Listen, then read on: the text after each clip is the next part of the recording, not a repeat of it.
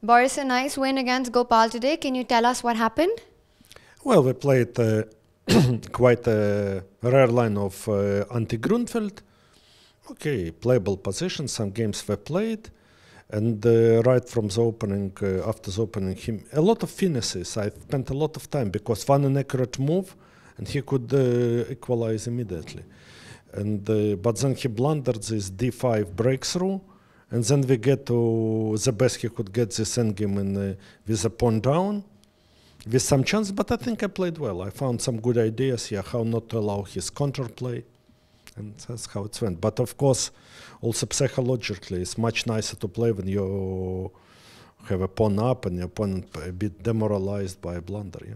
He actually had a good result against Hikaru yesterday. Uh, did you see that while you were preparing against him? I saw yesterday. It's a great game, beautiful idea. Yeah, at certain moment, I even thought he could uh, try for something uh, better than uh, uh, draw. Yeah, but probably Hikaru understood it, and uh, when he visit with exchange up, has to be careful and blocked also board. Right now, Boris, give us a little bit of an insight on how uh, how one would prepare in such a situation where you've got the white pieces, you're playing against a young talent who's having a good tournament. Yeah. How do you really uh, prepare before the game?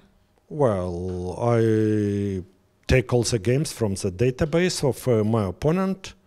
Look, uh, first of all, on his openings. Also, look how he played with the strong players, just to have an idea. Yeah, if he plays uh, just defensively or he goes for his style or he goes for a full game. And then I decide what is the best uh, idea for me to play against him. And uh, okay depends. Some players has a wide repertoire. And with Gopal he normally plays Grunfeld. He is very big expert in it. He has a lot of interesting ideas. So I decided to play anti-Grunfeld today Right. Now, uh, you've been here a couple of days, your first time in Gibraltar. How's your experience been so far here? No, I really enjoy being here. It's really great place, and the tour I had on the day of the opening ceremony is uh, incredible. Uh, well, really. And yesterday, seagull came to my balcony.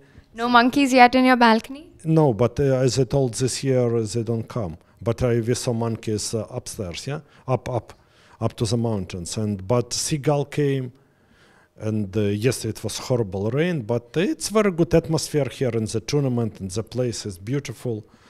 I am uh, very happy I made it here, and uh, I'm playing this great tournament. Uh, very, we are very happy to have you here, Boris. Good luck with your remaining games. Thank you very much. Uh, yeah, six interesting games lies ahead. Yeah, thank you. Thank you.